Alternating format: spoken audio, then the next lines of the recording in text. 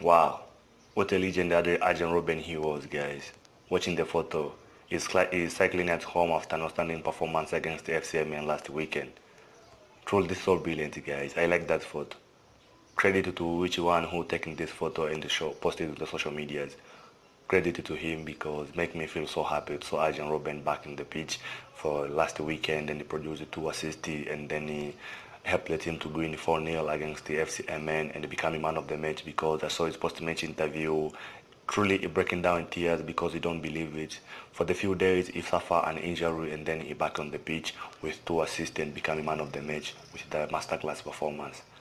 I believe that Arjen Robben is still a legend because I saw the game highlight, he playing very well, and I believe since he joining at FC Groningen, the former club, we should not standing performance until this time when he gets an injury, and now he back an injury and still show standing performance. Everybody knows how Arjen Robben he was in his age or in his young age when he played at Bayern Munich, Chelsea, Real Madrid. Truly, he showed standing performance for both teams who played there, and right now he was in his former club where starting his career, and then helped the team to reach something for this season and the next season when he finishes his career there. That is the clear decision for him to back in his former club and truly issue an outstanding performance like the one he showed last weekend. Thanks guys. Please subscribe, like, comment and share. Don't forget to notification you on for my daily updates. Ciao.